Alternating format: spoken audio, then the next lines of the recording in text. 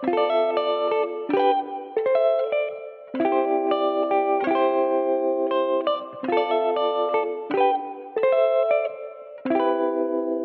up guys, it's Zay and Tay, and today we'll be reviewing some of 2023 and 2024's best football gloves. Let's get it.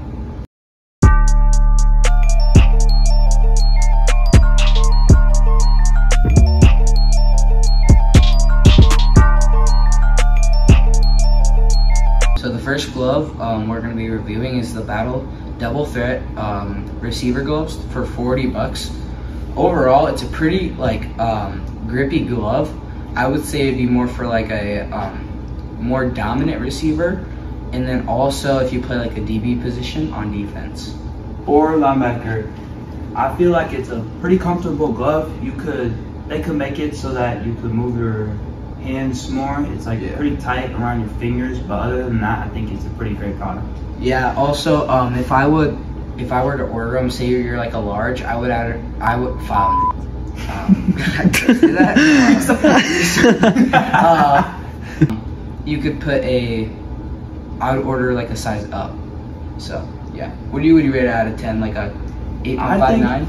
I think I'm gonna have to rate that uh eight. Eight. Yeah, I would agree. So yeah, um, it's pretty good glove, and for the price, it's honestly worth it. So I would go buy it.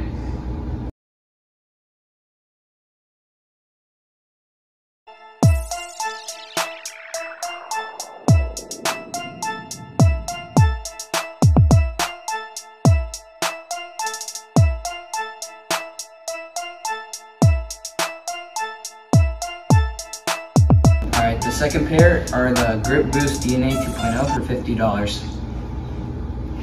Overall, pretty good glove. Really grippy. Uh, nice airflow through the gloves.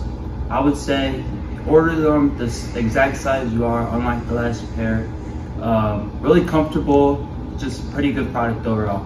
Yeah, I think what um, Tyreek did with the glove is honestly like really good. He made the quality of the glove way like better. It fits your hand. Uh, your hands can breathe. I like the little holes like for your like near like your fingers. But yeah, overall it's a pretty good glove. I would honestly give this glove like a ten, solid ten. Uh, one more thing though, don't order white because Yeah. if you sweat a lot, it's gonna like this, like this. It'll look like you can tell, like just from sweat. But other than that, it's really good glove. Just Yeah. order it in a darker color. Other than that, yeah, I give it a ten.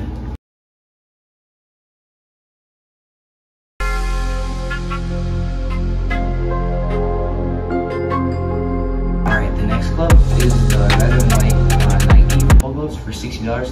Bro, that that's get that glove. Um, we'll put two clips of him in that like trying to catch the ball. Bro, the most slipperiest glove you'll ever see. I agree. Like I put them on, like like right away. There was no grip. Uh, I had to spit on it multiple times, and still there was no grip. Um, like he said, when he passed it to me, I could not hold on to the ball. It was super slippery. Um, it felt uncomfortable. It was really itchy. Good throws too. I mean, Yeah, it but- rips easily too. uh, one good thing about the gloves, fit just nice. It just really could improve.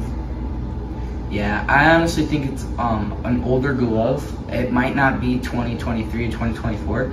I would have to check on that again, but it's honestly an older glove. So the gloves that they're making now from Nike are honestly really good. Just maybe not buy this pair. We couldn't really find the we couldn't really find the name either, so it's probably going to be a, a bit older. Yeah, but I know from just playing a bunch of teams, a lot of kids had them, so they were pretty popular, just not the best.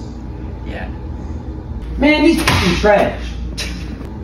So yeah, guys, um, those are our opinions about these three gloves. We try giving like a wide variety about like for these brands. So yeah. Overall, yeah, once again, it's just our opinion. Uh, just watch out for our next video. It's going to be about uh, cleats, uh, favorite cleats, Also, what's in our bag? What like what gear we have? That's good. That video's gonna be coming soon. Also. That's true. And then just comment down below what you want to see us do, what you want us want to see us react to, what you want us to test, And yeah, We'll try to make it happen. So, see you guys. see ya.